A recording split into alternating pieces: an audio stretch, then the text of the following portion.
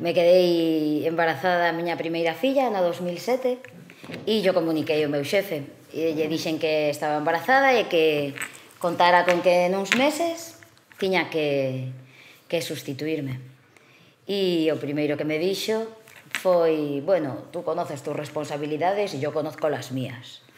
Foi a súa nora boa, esa. E entonces dende aí xa comenzou Tuve que formar a unha persoa que a volta de, da miña baixa por maternidade se quedou co meu posto. E a mí me mandaron para un cuartucho que antes tiñamos de almacén. Esa chica, la chica, me trataba, falaba aos meus compañeiros e se falaba así de min. La compañera de la derecha, así, se dirixía así a min. Non pronunciaba o meu nome, non me trataba con respeto, bueno, iso evidentemente. Os compañeiros, sempre me levei moi ben cos compañeiros, eu En canto meu xefe marchaba pola porta, todos os demais me pedían, me consultaban cousas. E eu nunca tuve un problema por, por axudar. Sempre o maltrato foi por parte do xefe, que é o único que maltrata ali. E, despois me cambiou varias veces de posto, me mandou para un lado, para outro, me tivo no seu, bueno, no despacho de Inxeñería Técnica que modificou entre el e o seu fillo no medio, evidentemente aillada totalmente, non, ninguén podía falar comigo, porque en canto falaban comigo e viña el xa estaba, vai, vete, vete, vete, vete. E debaixo de min hai uns baños, eh, que só usan os operarios, porque realmente son máis ben un, para cambiarse, teñen unha ducha e tal, non son baños, baños. E el pechaba a porta da, da administración para que eu non poidera ir ao baño das chicas e tuvera que ir a ese baño. E desas xogarretas, buf, pois todo o rato. Bueno, a culpa de todo o que se facía mal da empresa da miña, iso é por descontado. El propuxo sí. que me fora. Sí. O que pasa que, bueno, había que poñer encima da mesa moitos cartiños, creo, e iso non era factible para él, claro. Non estaba disposta para Claro, el quería que me fora porque eu quería irme e sin nada, o sea, como, como a maior parte da xente, vamos. Claro. O obxectivo de, de ese comportamento era precisamente ese. Sí, sempre, sempre fora. ese. Sí, sempre, sí, claro. o obxectivo sempre o mesmo. Cando chegou polo, pola asesoría dali do, do Porriño e empezamos a falar con ela, primeiro non dábamos crédito que esa situación se pudera estar dando, que fose unha realidade. E, e ela eh, decía que se sentía capaz de aguantar e de, bueno, que era a situación que lle tocara vivir e que así o iba a facer. E Mercedes eu, e falo moitas veces con ele, e dicir, pero Patri, estás segura de que vas a poder aguantar esa situación? Porque cada día era unha novidade, eh, non sei, isto sí. se pode contar aquí en media hora, pero foi un período así alongado no tempo, no que cada día había un episodio eh, distinto. A pregunta era se si ibas a aguantar e o carácter dela sí que lle estaba permitindo sobrelevar esa situación. Nos tamén víamos que ela era forte, valente, capaz, e nos tamén arroupamos e apoyamos con todo o que podíamos facer. Nese momento, evidentemente, hai que facer, eh, artellaron a denuncia en Inspección de Traballo, eh, explicando ben cal era a situación que vivía Patri. Patri en este momento di varias cousas, pero quedan aínda moitas outras atrás eh, cesta de Nadal Ay, que lle daba a tus sí. compañeros e a ti non che daba casi sí. nada ou absolutamente nada, unha humillación pública como outra, como tantas eh, participacións de Nadal a ti tampouco te daba e a pregunta sempre foi se si ibas a aguantar e eh, a segunda pregunta era eh, eh, Eh, que facemos con todo isto? Estás disposta a enfrentar esa situación, eh, enfrentala cos teus compañeiros, co teu eh, xefe e, en definitiva, co teu posible non eh, perda ou non do teu posto de traballo, pero, bueno, esa duda sempre hai. A testí, a ates todas as mulleres que se achegan a CIGA, en este caso, eh, que queren ser nais ou teñen previsto ou xa están en ese proceso, eh, ou a primeira pregunta que nos fan é se si van a manter ou poder manter o seu posto de traballo normal. Eh, como sabíamos que Patri avanzaba e era bastante forte, tamén a pregunta obrigada era que pasou realmente?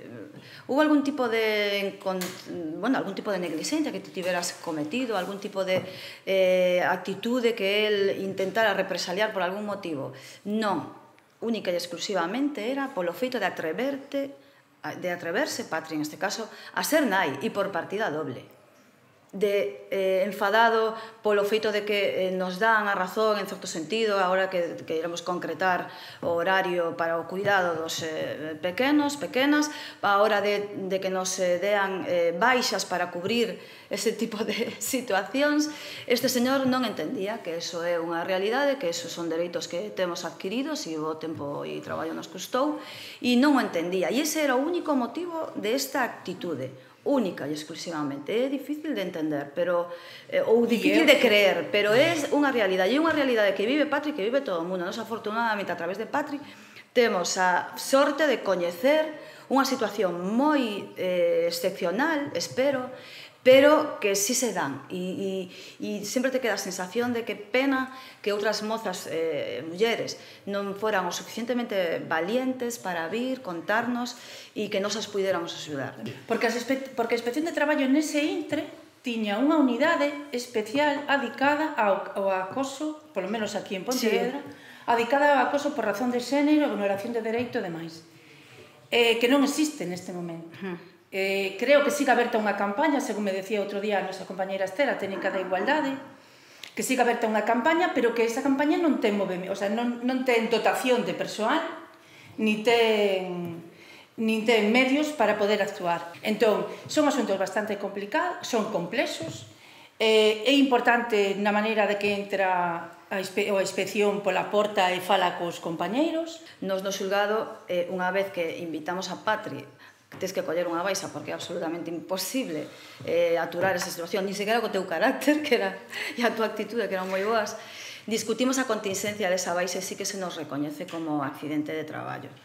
Eh, Patri eh, quería volver a traballar ela quería volver a retomar intentalo e ver si era capaz de lidiar con toda esta situación e eh, pactamos unha indemnización de 3.000 euros, non? Unha indemnización simbólica, sí. que un pouco viña a resarcir os danos e persuicios, non? Que lle causara toda esta eh, situación. Eso se pactou no xulgado, en este caso, pois, a CIGA, e ela decidiu eh, volver a reincorporarse ao seu posto de traballo. E até hoxe, que eu creo que a victoria... A mellor, a mellor das victorias. Eh, repítense feitos como este, eu atrevo a decir que diariamente no país, nos locais, atendemos persoas que están, eh, mulleres principalmente, que están na situación na que, na que estivo Patricia. Atendemos a compañeras acusadas durante o embarazo, a volta da maternidade, en toda clase de empresas, grandes e pequenas, cunha, cunha maior ou menor carga de violencia, hm? pero sempre coa intención de que, de invitalas a que abandonen os seus postos de traballo e que deixe, eh, deixándoas de ser valoradas como traballadoras. Eh, a estas mulleres se lle aplican os presuicios eh, que ten sobre a maternidade, que hai sobre a maternidade, que é o asentismo laboral, a falta de dedicación, a falta de entrega. Son presuicios que derivan nun castigo continuo por parte dos xefes e das xefas, en moitas ocasións invisibilizando e esquecendo a súa valía. Tratadas como meros instrumentos de producción Unha visión que ataca a nosa condición humana e que impón a lógica capitalista con consecuencias penosas para a vida das mulleres. Son, e témolas eh, nos locais, encargadas que deixan de ser encargadas en Bresca, que deixan de ser encargadas nos supermercados de Frois, son enxeñeiras que pasan de ser xefas de produción a ser asuntas de calquera cousa, dependentas e camareiras que as mudan os horarios, comerciais illadas en cuartos con sen posibilidade de relacionarse, como ya aconteceu a Patricia, operarias de produción as que lles denegan unha reducción de xornada, son recepcionistas de hotel que deixan de, de falarlle aos compañeiros por negarse a traballar en quendas de noite ou estar embarazadas, caseiras de, bran, de banca sobradamente preparadas sin posibilidade de avanzar na súa carreira profesional, Son traballadores de TT as que non lles volven chamar, son conductoras de autobús as que deixan sin liña, sin nada, e compañeras as que lle din que escolleron un mal momento, que non consultaron coa empresa a súa decisión de ser nais. Son traballadoras que case no 100% dos casos acaban negociando un despedimento para poder continuar, para non caer enfermas, para non acabar cronificando procesos de ansiedade e depresión. As que chegan aí, as que llegan, a, chegan a ansiedade e depresión, que son moitas tamén, se lles denega a enfermidade profesional, non se lles ofrece axuda psicolóxica, En moitas ocasións son forzadas pola inspección médica a coller a alta e incorporarse ao seu posto de traballo, sen protección alguna. Contra todo pronóstico, decida que paga a pena aguantar, que pode esperar 10 años pola justicia e que pode seguir indo a traballar e demostrar a súa valía. Precísase dunha muller que arrisque a súa saúde para defender a súa dignidade, dunha muller a que ose a ciga e o resto de mulleres temos que recoñecer e agradecer eternamente. E as jornadas de loita como que temos o 8 de marzo cada vez son máis importantes. A participación de todas faise imprescindible para exixir nas rúas e nos centros de traballo un cambio real das condicións laborais, en igualdade de oportunidades, a fin da discriminación, das, do acoso, das agresións, en definitiva, de todo tipo de violencias contra as mulleres polo feito de sermos mulleres. Dende a CIGA facemos un chamamento a todas as mulleres a secundar a folga do 20, de 24 horas convocada para este 8 de marzo e ao conxunto da clase traballadora a participar na manifestación que se convocará durante a xornada.